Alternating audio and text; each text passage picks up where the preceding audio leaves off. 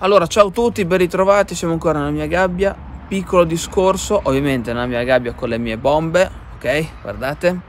Piccolo, piccolo discorso per quanto riguarda come riparare il bonsai dal gelo, dal freddo, dall'inverno. Perché? Perché sto ricevendo come sempre un sacco di domande, perché a breve sarà inverno, a breve fra qualche mese. Arriverà, per quelli che dicono oh, arriverà, arriverà ovviamente perché è sempre arrivato e quindi piccolo discorso per aiutarvi a smettere di avere paura che la vostra pianta muoia perché, perché si chiama bonsai. Perché molto spesso eh, avete due piante identiche, una non la guardate neanche e sta benissimo, l'altra la, bonsai, la chiamate bonsai, sta in vaso bonsai, fate un sacco di operazioni eppure sta sempre peggio di quell'altra, ok? Quindi prima regola, in linea di massima eh, e questa è una regola d'oro, eh. in, in, in, linea di massima chi non fa niente non sbaglia quasi mai, non sbaglia mai, ok? Perché? Perché il neofita eh, sbaglia, sì, quando mette mano lo fa per paura, non perché per necessità, ma per paura. Quindi è stato spiegato che il bonsai è una pianta speciale, una pianta che ha bisogno di mille attenzioni, no? in quei corsi dove vi dicono di tutto e di più, oh no perché il bonsai, la pianta normale è una pianta normale, cioè un, questo è un carpino, allora un carpino eh, non ha ness- nessun bisogno di manutenzione, starà sempre bene, invece un carpino bonsai, ah, è, è finita, scarterà i rami, eh, colpi di secco, da, eh, delle robe allucinanti, devi ripararla quando arriva il freddo, ma che cazzo, ma raga, ma, ascoltatemi, smettete di rompere le palle, smettete di dar retta a gente che, che, di professione vende i ciclamini eh, e i crisantemi, ok? Perché poi di fianco c'hanno anche qualche bonsaino, qualche piantina, ma quelli bonsai non li hanno mai visti assolutamente, scusate.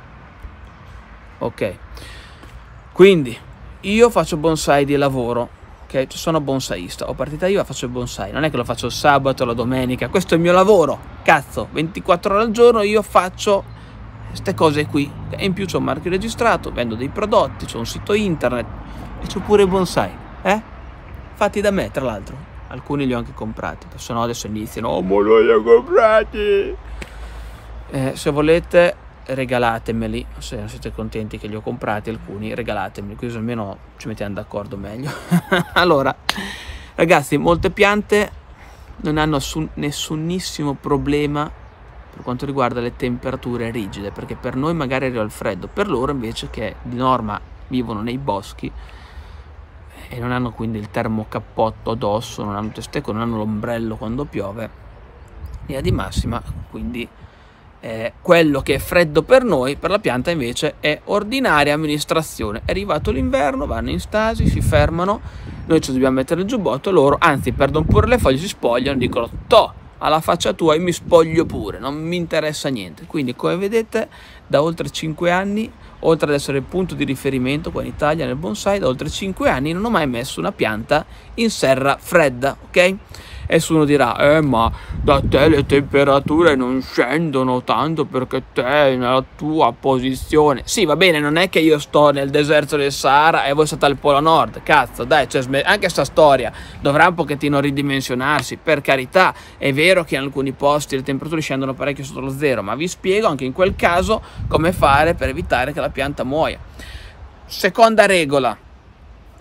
Eh, quando ci sono delle gelate, se la pianta è in stasi, è ferma, non gliene può fregare de meno. Cioè, così, non gliene frega un cazzo. Vedete i rami che sono pieni di ghiaccio sopra?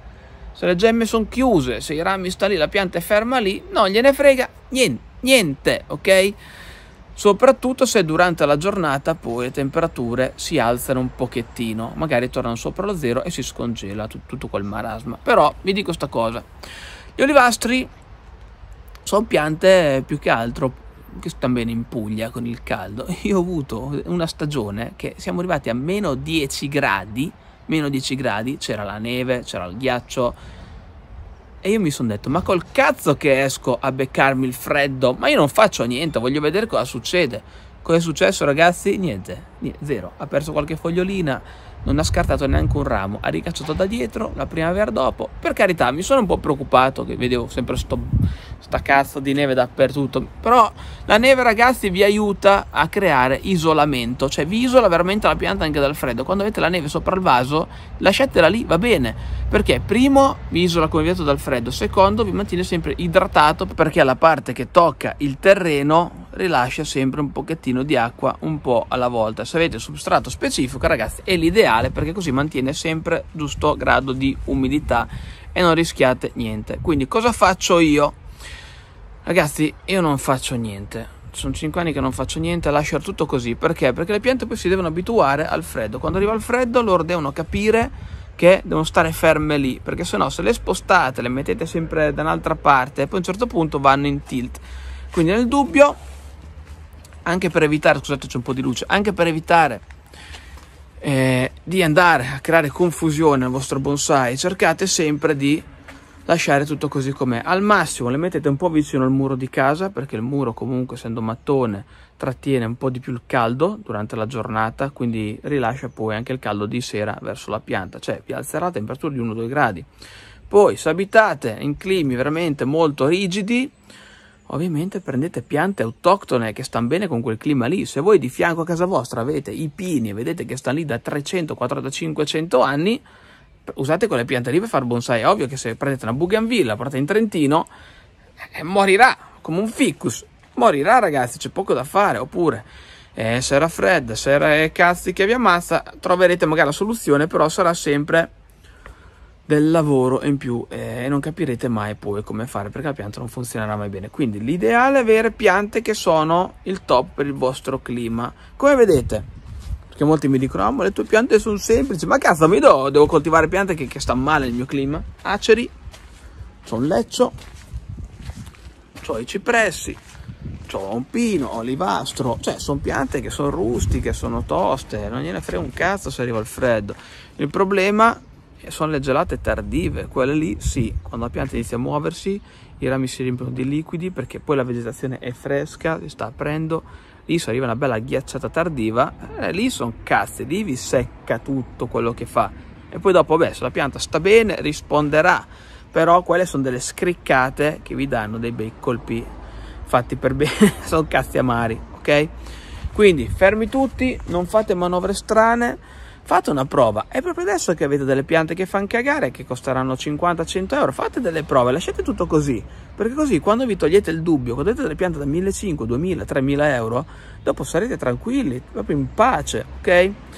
Eh, al massimo, se avete proprio FIFA, prendete la pianta, che vedete che è congelata per, per molto tempo, rimane congelato il vaso, la prendete, la mettete un attimo in garage, dove ci sono, che ne so, due gradi nel garage si sghiaccia, poi la rimettete fuori. Non fate la cazzata di mettere le piante in sera calda, perché se no vi si lessano. Perché passare dal ghiaccio a meno 10 e passare a più 25, ragazzi, è un massacro. Cioè vi si lessano le piante. Ho avuto amici, un amico che ha avuto dei problemi, sono morte le piante. Ho avuto dei problemi, sono morte le piante. Quindi le piante non hanno paura del freddo, non hanno paura del vento, al massimo, ma se proprio volete, mettete un po' un tessuto non tessuto sul vaso per coprirlo un po', se avete stafisima. Considerate che però se ci sono meno, meno 5 gradi avete il tessuto non tessuto, anche quello diventerà meno 5, cioè alla fine secondo me non isolate, non isolate niente, anche perché non potete chiudere ermeticamente, fare un capoto termico sul vaso, se no vi marcisce tutto, eh. Cioè l'acqua deve scolare da sotto, in più ci deve essere sempre traspirabilità, quindi che cazzo isolate?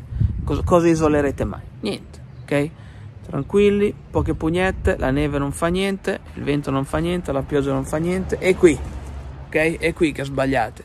Qui, perché fate le cose eh, che siete in preda al panico, all'ansia e al dubbio, perché non conoscete la questione. Una volta che avete capito che il problema non c'è, non fate niente e siete a posto, ok? Anzi, eh, fate, ve lo ripeto, fate tutti gli esperimenti adesso, così siete all'inizio, poi dopo partite veramente a bomba. Ok ragazzi? Ciao a tutti, ci vediamo al prossimo video. claudiobonsai.com tutto quello che vi serve per coltivare al meglio i vostri bonsai.